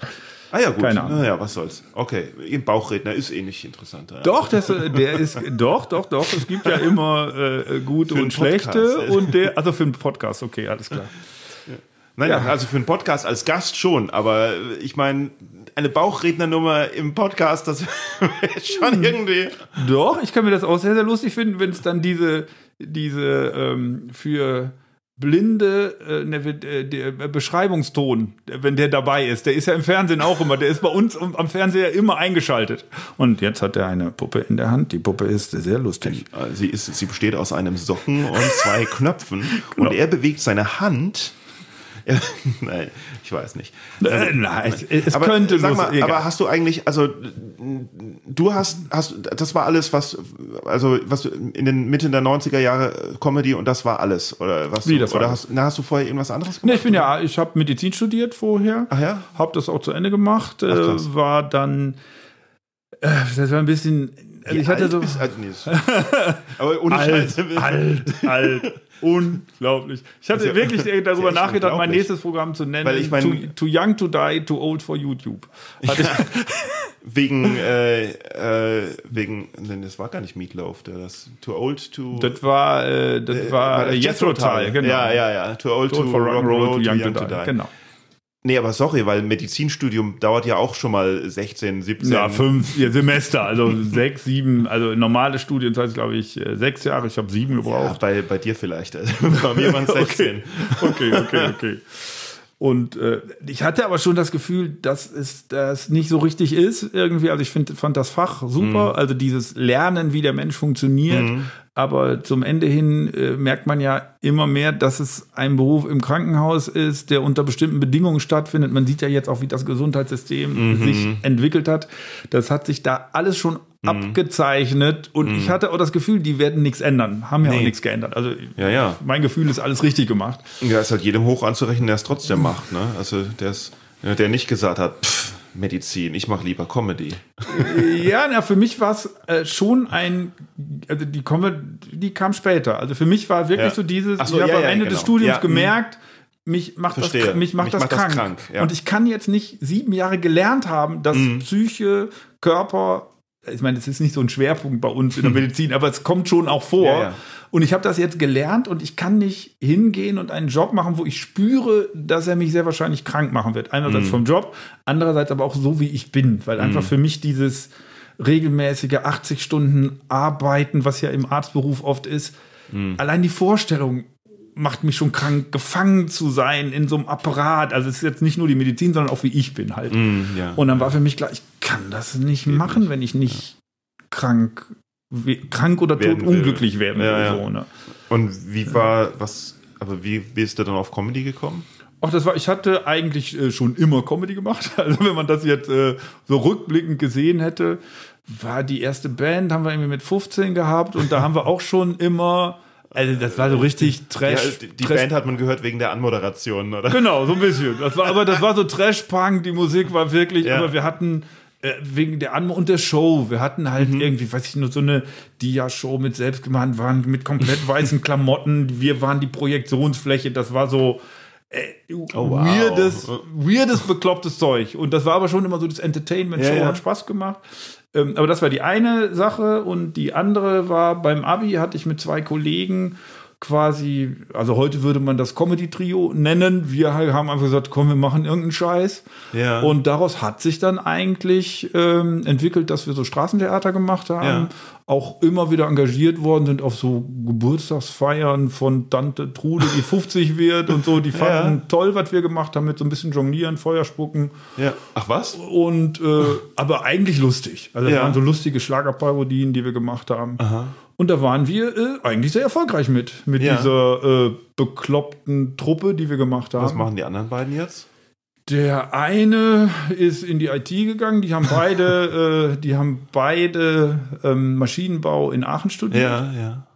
Und ähm, die konnten sich, glaube ich, nicht für diesen Weg entschieden. Ich hätte das gerne auch mit denen gemacht, mhm. aber äh, und ich fand die auch viel witziger als mich in diesem Zusammenhang. Aber nachher ist mir klar geworden, deshalb haben die es auch, glaube ich, nicht gemacht. Ich habe fast alles geschrieben da. Also diese ganzen ah, Ideen, ja, ja. dieses äh, Hintergrund, wie macht man mhm. Nummern zusammen, äh, kam halt, weiß ich nicht, Prozente kannst du ja nicht sagen, aber ich ja. glaube, in so hohem Maßstab von mir, dass die anderen gesagt haben, ja, was ist denn jetzt? Macht man so eine Gruppe und dann, dann trennt man sich irgendwann und wie geht es dann weiter? Und da war leider dann äh, der Mut nicht da, dazu zu machen und auch würde ich mal sagen, bei der, äh, bei dem Werden von dieser Gruppe war es halt so, dass ich da auch immer noch dieses Auftritte organisiert habe und dieses so, okay. und, und ich glaube, wenn die an dem auch noch mitgezogen hätten, ja, dann wären wir auch viel genau. erfolgreicher gewesen. Hm, so, ne? Aber das war äh, ist alles an dir hängen geblieben. Ja, und, das, und man hätte, also heute, wenn ich das aus heutiger Sicht sehe, man hätte zu dritt so viel schaffen können. Ja, wenn ich wirklich, du? doch, also wenn ich zum Beispiel, für mich ist immer so eure Mütter das Beispiel. Ja. Da hat jeder sein Ding. Einer ist Social Media, einer ist unglaublich geil da drin. Und äh, ich finde die gut. Mhm. Aber das war immer so eure Mutterplakate, mega geil, alles toll. Heftig, ja. Und dann es ist es einfach nur eine Dreier-Comedy-Truppe. Weißt du, ja, es ist nichts. Ja. Also aber die sind super. Ich finde es nicht. Also für mich ist es jetzt nichts. Es gibt ja auch keine ja. Vergleiche. Ja, eben. Deswegen, das wollte ich sagen. Das sind, das sind die. Also bei denen funktioniert es als Dreiertruppe. Genau. Aber ich, ich kann. Irgendwie ist es nicht meistens so bei irgendwelchen bei irgendwelchen Gruppen, dass, dass die Trennung unweigerlich bevorsteht, weil irgendjemand Solo macht. Es ist doch bei der Musik genauso mit, mit Destiny's Child und, und allem. Ich, ich also wie gesagt, es ist ja, also ich finde es da halt so ja. toll, weil da funktioniert und ich habe ein paar Mal mit denen auch zusammengesessen ja, und dass irgendwie jeder hat seinen und ist in seinem Bereich Marketing und so auch krass. richtig gut. Also, weißt du, wenn eine Plakate, Management und CI alles geil, na, äh, Corporate Identity. Also, so, äh, wow. Okay. Und äh, also eure Mütter ist ja auch einfach mm. ein toller, toller Bandname oder mm. toller Name für eine Gruppe. Die Plakate, es war alles, alles richtig. Und dann ja. haben wir natürlich, wenn wir das auch gehabt hätten oder so zu dritt, also die beiden anderen auch so. Aber war nicht. Ja. Nö, leider nicht. Aber Och, es waren, aber total geile, immer noch meine besten Freunde ja. und äh, und das war so eine Freundetruppe. Und ich glaube, deshalb waren wir auch in Anführungszeichen so gut. Weil das halt dieses Ganze, was ich meine, jetzt heute, oder ich habe mir dann, nachher macht man sich natürlich Gedanken darüber, warum ist das damals so, also mhm. super angekommen. Also wir waren da in, äh, also wir sind hauptsächlich in Aachen aufgetreten, weil die beiden da studiert haben. Und da gibt es halt einen ganz tollen Marktplatz, wo abends auch ganz viele Studenten sind. Und äh, da hatten wir, weiß ich, beim Straßentheater 300, 400 Leute und haben auch richtig Kohle gemacht, wow. wenn, wir da, wenn wir da gespielt haben. Und, äh, und nachher, wenn man ja so lernt, eigentlich denke habe ich immer gedacht, wir waren, waren da eigentlich scheiße. So. Nein, aber wir waren gut, weil dieses Ganze, was man sich mühsam erlernt, diese Beziehungen untereinander, mm. dieses Kleine, da, das war alles richtig, mm. weil wir waren Freunde. Genau, ja, man hat dann auch ein, man, man hat dann halt dadurch, dass man befreundet ist, schon, schon das richtige Timing genau, untereinander. Genau, genau, genau. So dieses, ja. was ja heute, wenn ich irgendwie äh, mein Sohn ist äh, Fan von Pete's Meat. Kennst du Pete's Meat? Ist so eine äh, YouTube. Ist ein Gamer äh, oder? Game, ja, mega berühmt. Also äh, ja. die, die, haben, ach, weiß ich, zwei Millionen Follower bei YouTube, keine Ahnung. und die haben angefangen, äh, die haben halt so Spiel, die spielen immer Spiele ja. äh, untereinander und das ist äh, eine Firma. Also die machen ja, in, in, in, inzwischen, glaube ich, dreimal die Woche kochen die miteinander und die haben auch meinen Sohn so mitgenommen in dieser Zeit von. Ja, ja. Mein Sohn ist jetzt 21, der hat die kennengelernt, da war er 15, die sind jetzt auch 30 oder mhm. so. Und äh, die kommen auch vom Niederrhein, genau wie wir. Und du merkst so, das ist das Gleiche eigentlich. Mhm. Die, das sind Freunde, die haben ja irgendwas gefunden. Und da ist auch wieder dieses, ist dann Da immer einer. dann, ja, ja. und einer hat dann auch immer so, weißt du, dann macht der den Computer, der macht das. Du musst immer, jeder muss seine Aufgabe Hm. Jeder braucht seine ne? Aufgabe, Oder auch ja. das auch wollen. Ich glaube, bei uns äh, war auch das Problem.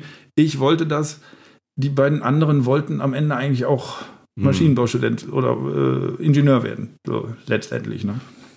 Jetzt würde mich am Ende noch interessieren, wie, wie diese Shows, äh, ähm, die, die Anfangsshows bei, bei der offenen Bühne oder beziehungsweise was das davor gemacht hast, was das, was, was das für Acts waren, weil ähm, hat sich ja irgendwie schon, also damals war ja nicht alles Stand-up so irgendwie. Es Nee. hat sich ja irgendwie ganz Also die Grundidee war, äh, um so Anders kurz ne? ein bisschen auszuholen. Es war ja wirklich sozusagen, ich hatte das, äh, ich war in London, hatte das da irgendwie gesehen, fand es unglaublich geil, war davor auch, weil mich da eine Bekannte mitgenommen hatte, bei der scheinbar in Berlin gewesen. Ah, ja, ja, ja. Und fand das eben auch geil, dass es das gibt und auch diese Freiheit, jeder darf auftreten Machen, und, und es gibt keine, keine Beschränkung, was ja in Deutschland sonst auch immer so schrecklich einengend ist, dieses Ja, ja. Äh, äh, ich habe mal gesagt am Anfang, äh, wenn du nicht auftrittst, wirst du nicht gut und wenn du nicht gut bist, Bist- darfst du nicht auftreten. nicht auftreten, und genau, das ist ja. ja irre, es muss ja irgendwo Ja, ja, geübt genau, werden. Ja. Und wie gesagt, dann war die Idee, das selber zu machen. Und da das ja wirklich in Köln eine absolut neue Idee war, die es ja. da irgendwie noch nie so in der Form richtig gegeben hatte, oder wenn man nachher recherchiert hat, gab es sowas schon immer, aber es, in, in dem Augenblick gab es das in der ja. Form nicht. Und dann haben wir halt gesagt, ach, äh, ich rufe jetzt einfach äh, auch Künstler an und frage, willst Aha. du da nicht? Dann haben wir eine, da waren Bauchtänzer, jeder, der irgendwas konnte, habe ich am Anfang dann eben auch angerufen. Ja. Und dann haben die halt auch ein bisschen Werbung mitgemacht. Und dann habe ich so gesagt, auch wenn da vier Acts sind, jeder bringt zehn Leute mit, ah, da können wir schon loslegen. Das hat Dann natürlich hat sich auch entwickelt so. Ne? Also langfristig nicht funktioniert, weil die Freunde von welchen, die was machen, die waren irgendwann, kommen die nicht mehr. ja, Das ist gut. leider so. Aber damals hat das irgendwie ganz gut funktioniert und wir hatten da tolle Sachen. Wir hatten einen so einen, so einen Löffler, der mit Löffeln gespielt hat. Wir hatten, ach, wir hatten äh, Also einen- die, die, Hörer haben jetzt natürlich nicht die Geste gesehen, weil die denken jetzt so, wie, der hat mit Löffeln gespielt. Also Ja, der so- mit Löffeln Musik gemacht Mit Löffeln hat. Musik ja, gemacht. Mit genau. Löffeln Musik gemacht zu äh, Spoonman von, Spoonman. Äh, von äh, wie heißt der von so einer eine Heavy Man, der Heavy Band, Name vergessen. So in Richtung Pearl Jam gab es damals Ach, äh, das okay. Spoonman und das war sehr, sehr lustig, weil der war halt aber auch schon älter Ja. und hat dann zu dieser voll abgefahrenen Hardcore-Musik halt mit seinen Löffeln da gelöffelt. Das war sehr lustig. Krass. Und da waren halt äh, ganz viele skurrile Sachen. Irgendwie Ja. ein Harfenist, der da gespielt hat und Wow. komplett abgedrehte Sachen gemacht hat. Der Höhepunkt war einmal, da war dann auch ein Karnevalist und der, äh, der äh, Harfenist hat den Tusch auf seiner Harfe gespielt. Das ist aber etwas, was ich nie vergessen werde. Und, äh, und dann im Vorgespräch war so irgendwie immer so dieses, äh, äh, dann er so, der, der Harfenist, ich weiß nicht, was muss ich machen? Wenn es lustig ist, mach's einen Tusch. Ja. Und dann hat der Karnevalist immer Sachen erzählt und so, mm, Pointen. Und dann kam kein Tusch und der immer so, jetzt, äh, immer zugenickt, jetzt muss ich, jetzt muss ich. Und der Hafenist hat gesagt, ich dachte, wenn es lustig ist. Genau. Ja, ja. Aber das wurde so mehr nonverbal gespielt und das hatte natürlich eine unglaubliche Klar. Lustigkeit. Ne? Das war Krass. sehr, sehr geil. Und das war vor Nightwash. Ja, lange vor. Ich sag, Ja. das waren so, so drei, vier Jahre Ah, vor, ja. Und- vor, vor Nightwash. Aber die wollten dann auch, die, da hast du ja auch, warst du ja auch direkt am Anfang. Ja, ganz, dabei. also Das nicht war ja ganz so- am Anfang. Es ist, glaube ich, ein halbes Jahr oder so gelaufen. Ich hatte Da mich erst dann in, am, am äh, wie heißt der Platz? Ähm, Brüsseler Platz. Brüsseler Platz. Genau, genau. Ja. Und da habe ich mich erst geweigert, äh, hinzugehen, weil es umsonst war. Und das war so, äh, das war so wie, das ist irgendwie Perlen vor die Säule. Dann haben wir da mal nochmal Du hast, geredet. direkt, du hast direkt Eintritt genommen. ja, Zwei D-Mark. wenig, äh, aus Respektsgründen. Ja, aber ja. So, so ein bisschen fand ich immer, ja, ist doch auch korrekt. wobei es halt, wie es immer ist, manchmal sind dann, äh, ich hatte mit Knacki irgendwann nochmal geredet, er meinte, es wird einfach nicht gehen, weil es dann öffentlicher, es ist ja im öffentlichen Raum und dann ist es eine Veranstaltung und dann muss er Auflagen erfüllen Weil's und so weiter. Waschsalon war. Mm, Und deshalb hätte man dann ein Fass aufgemacht, wenn man Eintritt genommen hätte, ja, was dann nie wieder zugekriegt. Ordnungsamt am Ja. und ja, ja, ja, ja. Und so kannst du es Okay. einfach machen. Kein Eintritt, ja. kannst du einfach machen. Und es war ja auch so, dass die, äh, es gab ja kein Problem mit dem Respekt. Also der Respekt des Mhm. Publikums war ja immer da. Es war ja immer voll. Und diese ganzen Fragen, um die es eigentlich geht beim Eintritt, ja. waren da nie ein Problem. So. Und deshalb war es dann eigentlich, habe ich mir jetzt einmal angeguckt, fand es okay. Und es hat einfach unglaublichen Spaß gemacht, da zu spielen, weil die Leute halt durch die Decke gegangen sind. Also weißt du, wenn man eine normale Nummer Mhm. irgendwo gespielt hat, die gut ankommt, dann ist die da dreimal so gut angekommen. Ja, ja, Äh, ja. Wie geil. Ja klar, wenn du eng zusammen im Waschsalon sitzt, was willst du machen? Ne? ja. Aber ähm, äh, ich finde immer bei dem bei Eintritt frei finde ich immer das Problem. Also viele sagen ja so, viele die Shows anfangen, sagen ja so, ja, ich muss erstmal Eintritt frei machen, damit Leute kommen. Und das ist Quatsch. Weil, weil äh, dann ist es eigentlich schwerer, erstmal Leute hinzukriegen. Wenn du direkt Eintritt verlangst, denken Leute, oh, was ist denn das? Das ist bestimmt was wert. Ne? Wenn du sagst, Eintritt Ich bin, frei. ich bin gegen Eintritt frei, Ja. aber es ist halt, gibt ja auch Eintritt frei Shows, die laufen und wo ich denke, ich, Ja. ich, aber ich finde einfach. Ja, die Sache ist nur, die, die, die Veranstalter, die dann sagen, ja, ich muss Eintritt frei am Anfang machen, aber ich, klar, nächste Show, nächste Show Nein. nehmen wir dann Eintritt oder so irgendwas. Und dann ist das das eigene Grab schaufeln, bevor es überhaupt begonnen hat. wenn- Weil wenn du mit ja. Eintritt frei angefangen hast, da kommst, kannst du nicht mehr weg Nein. von. Und Das- wenn keine Leute kommen, ja. dann kommen keine Leute. Da kommen auch bei Eintritt frei Nö. keine Leute. Oder du kannst auch gerne natürlich Austritt bezahlen oder, oder immer schon Ja, ein, gut. ein, Obolus immer klar machen, das hat einen Wert, das geht. Das machen auch einige, dann finde ich es gut. Mhm. Ja. Aber dieses einfach Eintritt frei ist. na, Ja, äh, gut, aber äh, nehmen wir zum Beispiel den Comedy Punch Club. Ja. Äh, der hat ja auch Eintritt frei gemacht und am Ende halt äh, äh, geht der Hut rum oder Genau. sowas, oder im Austritt oder sowas. Kam oft nicht so viel bei rum, weil es halt auch sehr viel junges Publikum war, die natürlich nichts hatten. Mhm.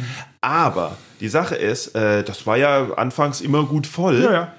Und äh, es, es musste aber in diesem Konzept bleiben. Also er hätte nicht, er hätte nicht sagen können, okay, hier, jetzt haben wir das etabliert, es ist wöchentlich in Solingen, ein, mitten in der Woche eine volle Comedy-Show, was ich schon krass finde, Ja, ja, weil ja. Ne, ähm, das, da, da hätte man nicht sagen können, äh, ja, ab jetzt 5 Euro Eintritt oder sowas, das wäre nicht gegangen. Dann wären die, dann wären die Leute, die ja Leute aufgehört. Ne? Und die Frage ist ja, Ja. immer die Konsequenz. Das war für mich so dieses. Äh, äh, das Endprodukt davon ist dann irgendwie vor zwei, drei Jahren war ich in, in New York in so einem Comedy Club und, da, Ja. und das war wirklich so, äh, ich bin mittags bin ich hingegangen ähm, und dann war ja diese kleine, kleine Pointe, kleine Anekdote. Ich habe die Kellnerin gefragt, äh, wie ist das denn hier, kann man hier auftreten? Ja. Und dann hat sie gesagt, nein, du trittst hier nicht auf. Und ich so, wie, warum darf ich nicht auftreten? Ja, weil heute ist Ladies Night.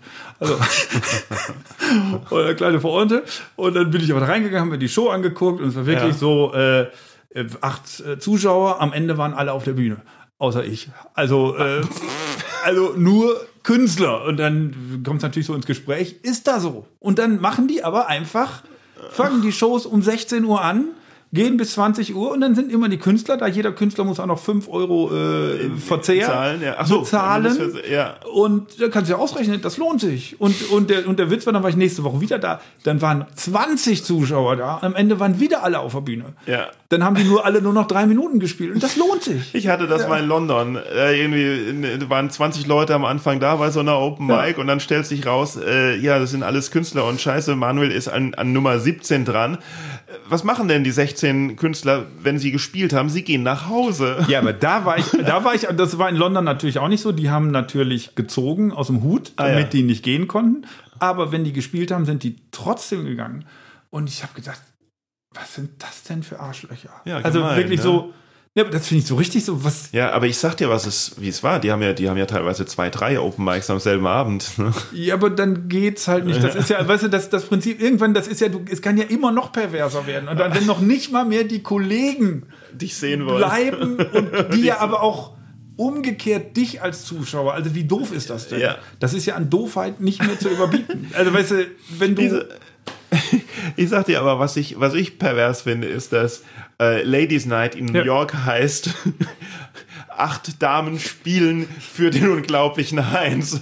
Du sitzt da so im Publikum und schaust ja. ja, ja, Das finde ich ein bisschen das pervers. stimmt. Das, äh, habe ich so noch gar nicht gesehen. Aber äh, äh, ja. Hey, es ist Ladies Night, du spielst nicht, du schaust dir die, du schaust dir die Ladies an. Du musst die Ladies, äh, du musst lachen. Du hier Weil es ja auf Englisch auch immer schwer ist. Ich war da bestimmt nicht der Warum lachst du denn nicht? I don't understand. Anything. ja, na gut. Okay, dann bedanke ich mich, dass du äh, äh, hier warst und ich ähm, Gerne, hoffe gerne. mal, dass es auch eine äh, Men's Night gibt, wo acht Comedians dann für äh, eine einzelne Zuschauerin spielen, die dann in New York fragt, ob sie auftreten darf und Und der Kellner, der Kellner sagt, nee, du darfst nicht, heute ist Men's Night. Überhaupt die Vorstellung, dass, es, dass man eine Men's Night macht, fände ich für Boeing auch schon eine äh, tolle Anregung. Nee, nee. nee, äh, absolut, äh, absolut gar nicht. Ich bin ja sehr äh, darauf bedacht, dass ähm, äh, es ein bisschen ausgeglichener ist, was das Line-Up ist. Nein, aber das ist ja das. Und muss trotzdem sagen, ich hatte das, ich, also es gab, es gab ja schon, es gab ja schon Men's Nights die, das war aber unabsichtlich. Ja, da, aber das finde ich ja, ja gerade lustig, dass man dieses Unabsichtliche, was ja andauernd passiert, so ja, ganz so, ja, riesig bewerben würde. Heute nur Männer. Heute nur Männer, genau. Eigentlich die Absurdität der Ladies Night nach vorne stellt. Genau, ja, ja. das ist genau der Punkt, weil ich möchte nämlich mhm. eben, also ich, klar, ich möchte auch mal einen Abend haben, wo nur Frauen da sind, aber wenn es dann soweit ist, werde ich den auf keinen Fall als Ladies Night bewerben, sondern ich werde kein Wort dazu sagen. Für mich ist das der Höhepunkt. Weil das völlig normal sein soll. Das soll normal, das ja. ist der Höhepunkt der Diskriminierung, finde ich. Ja, genau, das, genau, ja. Im, ja, theoretisch abs absolut, genau. genau. Also ich habe ich hab das einmal gemacht äh, am, am Anfang von Boeing, wo ich so irgendwie, mhm. hey, heute machen wir mal eine Show, wo ich extra dafür caste, nur Frauen und nennen das ja. dann Ladies Night und sowas, weil, äh, weil es verkauft Karten. Ne? Ja, ja, auf es jeden ist, Fall. Es, es, ist ein, es ist ein Seller, ne? Mhm. So irgendwie. Ähm, aber dann habe ich ja, da habe ich mich sehr unwohl gefühlt, so irgendwie. Das, Wie gesagt, ich habe auch dieses komische Gefühl, dass das so, so, ein, so ein prinzipielles das heißt ja, da ist Schutz notwendig ja. und das ist nicht. Also ich finde, auf ja. nichts ist ehrlicher als auf der Bühne. Entweder du bist lustig oder nicht und das ja. hat für mich nichts mit Frau, Mann zu tun. Das ist einfach. Sollte äh, es nicht. Es ist schon, es, also es, es ist ja schon viele ein gewisser, denken so, es, aber man, genau. aber man gibt diesem Denken Vorschub, wenn man wenn eine man Ladies extra Night noch macht. betont. Genau. genau, ähm, genau. Also man sollte auf jeden Fall eine Ladies Night machen, aber es ist einfach ein ganz normaler Abend. So. Genau. Ne, weil ähm, wenn es nur Männer sind, wird es als normal erachtet. Wenn es nur Frauen, äh, aber selbst selbst wenn man es nicht zum Thema macht, selbst wenn eine Show wäre, wo äh, nur Frauen auftreten würden, weil es sich bei der Open ja, Mic halt einfach so ergeben hat, weil sich nur ja, selbst dann würden viele im Publikum sagen, oha, es waren ja nur Frauen auf der Bühne, bedeutend mehr als wenn es nur Männer wären würden und sie sagen würden, oha, es waren ja nur Männer auf der Bühne. Also da muss sich noch was ändern. Ja, ich, äh, wobei ich finde, dass sich unglaublich viel geändert hat und dass es ja, auch, äh, ja, wer, wer jetzt schuld ist, weißt du, und dass ich eben auch äh, finde, dann, es gibt wirklich auch noch viele Leute mit sehr vielen Vorurteilen, die sagen, ja. Frauen sind nicht lustig, machen ja auch so viele Mixed-Shows auf dem Land, denken, du hast nicht mehr alle. Es gibt genauso viele lustige Frauen wie lustige Männer, nur äh, die sind natürlich dann noch, haben sich noch nicht so durchgesetzt oder, oder du, du kennst die Szene gar nicht. Du guckst nur ja, was heißt, haben sie ja. nicht durchgesetzt? Wurden halt, wurden halt an den Rand gedrängt. So, es ist, ja, aber stimmt ja auch nicht. Es gibt auch genug. Es gibt mir ja böse, die macht ihre Shows Caroline Ja, schon, es, aber, es gibt aber auch heil, ja. Aber, aber, aber wenn da, ja, guck mal, wenn da, also ich, ich krieg das ja bei, ich krieg mhm. das ja in meinem Backstage manchmal ja, mit, wenn da so, wenn da so junge Typen ankommen, die, die dann auf der Bühne irgendwas erzählen wollen, wie die Welt ist oder, oder wie ihr Dating-Ding war und ich denke, wem, ich könnte dein Vater sein, wem erzählst, wem erzählst du das? Und dann, dann krieg ich schon, und, und wie die teilweise teilweise dann Testosteron geladen da über ihre, über ihre ähm, Eroberung, also jetzt nicht, äh, nicht Date-Eroberung, sondern Eroberung, wo sie schon gespielt haben und ja, sowas, reden und sowas.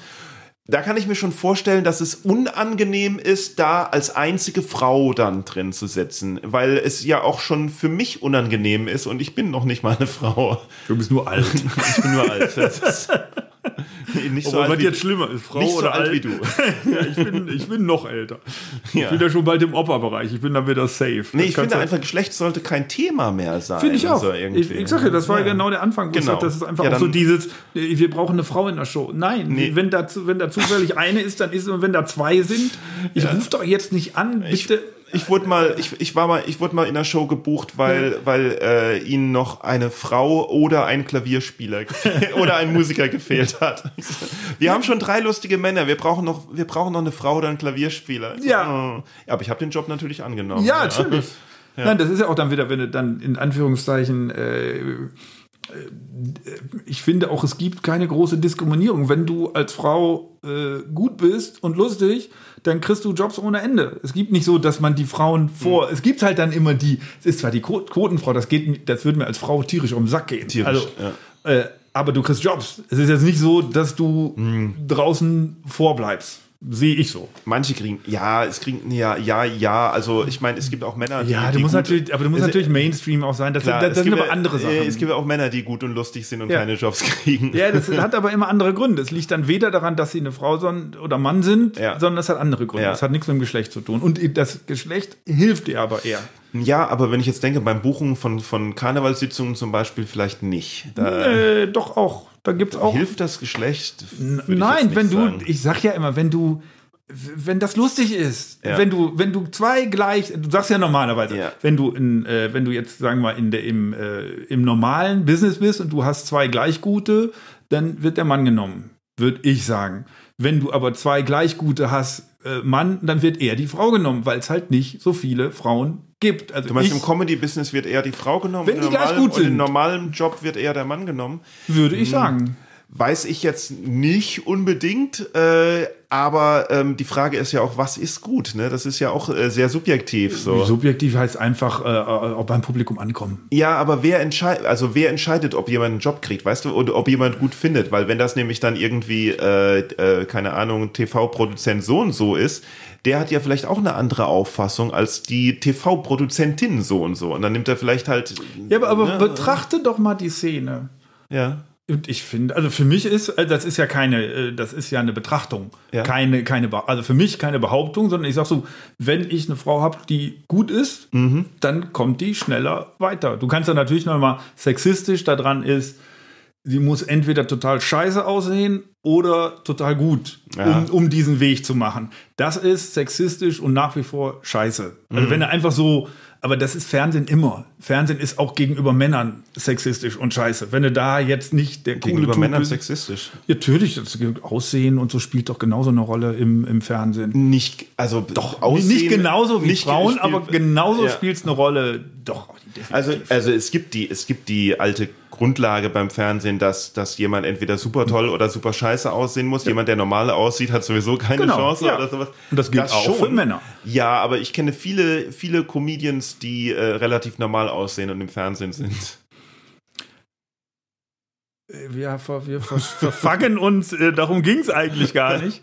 Aber äh, ich habe ja auch gesagt, das, äh, also der, der, der Anfang war ja, kommt man als Frau bei gleicher Qualität schneller weiter oder will, braucht man Unterstützung? Nee, Braucht war man, eine, braucht das war man eine These, die du, die Das war eine These. wolltest, Braucht man, braucht man eine Quote? Und ich meine, man braucht halt diese Quote nicht, weil man nicht. Das ist meine, meine, Be- meine, Mhm. meine Betrachtung, wenn ich, wenn ich jetzt so gucke, Karrieren von, äh, von Kolleginnen oder, oder und so. Mhm. Und da war mein Ding immer, das geht richtig flott. Wenn du. Ja, äh, also sagen wir, also braucht man eine Quote, weiß ich jetzt auch nicht. Ähm, aber also ich, ich meine, weiß ich nicht, weil ich denke, weil ich nicht weiß, ob das der Weg ist, um um es äh, eine gerechtere, äh, um, äh, um eine um gendergerechter zu sein oder der so. ganze, da, darum geht es gar nicht. Aber ähm, aber wenn ich wenn ich mir das Beispiel mal der des der BBC äh, nehme Ja. mit ihren Panel-Shows und Ja. so irgendwas. Ähm, also Panel-Shows ist meistens ein Moderator, vier Gäste, sowas wie sieben Tage, sieben Köpfe, Ja, nur halt. Äh, in lustig. Und ähm, und da da war wiederkommen, ne? aber egal, Ja, ein anderes weiß. Thema. Ja. aber da war es immer so, die haben, die haben immer vier Gäste gehabt und äh, mit, mit etwas Glück haben sie gemacht, ja, drei Männer und eine Frau und sowas. Und irgendwann haben sie halt mal ähm, äh, es gesagt, okay, gibt es irgendeine Regel oder sowas jetzt, wenn du vier Gäste hast, müssen zwei davon Frauen sein oder so irgendwas. Und dann haben sie das, oder, oder ich weiß nicht, ob sich selbst auferlegt ist oder so irgendwas. Aber jetzt bei den neueren sieht man halt äh, äh, mehr Frauen in, in diesen Shows. Das sehe ich aber auch wieder anders. Das finde ich wieder gut, weil das Ja. was anderes ist. Weil dann hast du ja auch Frauen, die eine Chance kriegen, auch besser zu Ja. werden, da immer wieder aufzutreten. Du vergrößerst Frauen den die Chance kriegen, besser zu werden, wenn sie, ich glaube, die sind Nein, schon nein, ich glaube, als, Komik, nein, als Komiker musst du auftreten. Auch, du, musst Ja, auch, ja. du musst auch im Fernsehen nochmal Erfahrung sammeln. Das ist ja, äh, also wenn ich jetzt meine Karriere sehe, Fernsehen muss man auch nochmal neu lernen. Wenn du auf der Bühne schon toll bist, ist Fernsehen nochmal ein neues ja, man, Genre. Man lernt nie aus, aber Und es du- sind ja keine Newcomer-Shows. Nein, aber du musst aber Gelegenheit haben. Und du Ja. musst, wenn du, wenn du beim ersten Mal bist du total nervös und dann wirst du noch geschminkt und gemacht. Wenn du das beim dritten Mal machst, kommst du langsam auch in so eine coole und jetzt hau ich hier noch einen rein und improvisiere ein bisschen. Und wenn ich Gelegenheit habe als Frau, hast du dann auch Ja. irgendwann mehr gute Frauen. Klar, aber genau. Und- Das finde ich, auch, das finde ich auch gut. Das ist aber nicht das, was ich sagen wollte. Und ich, de ich denke halt so, dass wenn, wenn ich die Shows von damals mit weniger ja. Frauen und die Shows mit, mit jetzt von, von, von, mit mehr Frauen ver vergleiche, ist da kein Unterschied. Ja, glaube ich auch. Und deswegen ist für, und das ist für mich der Beweis, dass da schon äh, äh, Sexismus eine Rolle gespielt hat bei der Besetzung der Shows früher. Ich bin vollkommen ja. bei dir. Also das, äh, okay. wir sind, wir sind, was das angeht, eine Meinung. Aber die, okay, super. Ah ja, das, da können wir jetzt mal endlich hier zum Ende Endlich kommen. mal aufhören, ne? Ja, ja. du kannst nur sagen, dass wenn man äh, als Frau toll aussieht und auch noch gut ist, da geht man ab und macht Karriere wie Sau. Kannst du einfach mal zugeben. Ich, also ich, ich, äh, äh, nee, äh, das kann ich nicht zugeben, weil vor allen Dingen, vor allen Dingen, das, sind, das, ist, das ist viel zu ähm, verallgemeinernd, weil ich denke auch, dass wir zum Beispiel auch unterschiedliche Meinungen haben, was gut aussehen ist. Ja, aber das ist ja, das entscheidet natürlich wieder so ein Fernsehfuzzi. Da, da ja, man, genau. wird man nicht kompliziert hier. Das, das so entscheidet wieder so, können wir mit diesen Worten aufhören. Das entscheidet wieder, so ein Fernsehfuzzi. Das entscheidet wieder so ein Fernsehfuzzi. Okay, äh, vielen Dank, dass du da warst. Aber da würde ich aber lieber auf, äh, so, aufhören mit den Worten, das entscheidet ja. wieder so ein Fernsehfuzzi, der sowieso keine Ahnung hat. Noch besser. okay. genau, Fernsehen. Äh. okay, mach's gut. Ciao. Tschüss.